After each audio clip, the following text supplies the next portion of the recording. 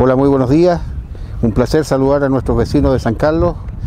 por segundo año consecutivo en, lo que es la exposición 300 del Club Chilcoa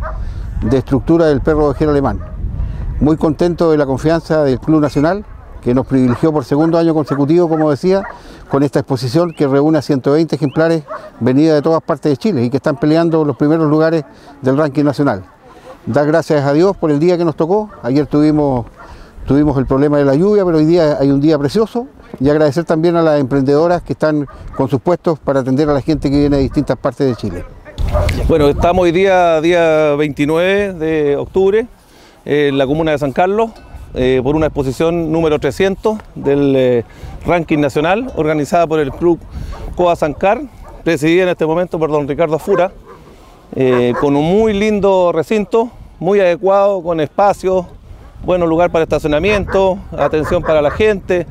una feria costumbrista también que nos acompaña para darle más realza a la exposición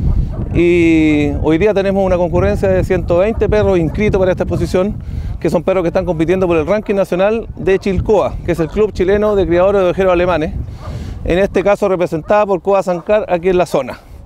Eh, muy contento, una muy buena participación, muy buena organización, está todo como tiene que estar, muy adecuado. Y vamos a darle juzgamiento para ir definiendo cuáles son los mejores perros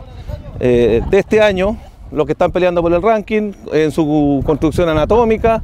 eh, en el tema de carácter, va a haber eh, pruebas de ataque,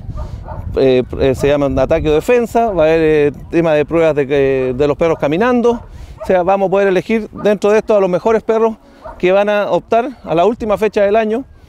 a salir como campeones nacionales de estructura de, del Club Chilcoa eh, en su ranking nacional. Y un agradecimiento especial a Ricardo Afura, que nos conocemos hace muchos años, somos ovejeristas de los antiguos,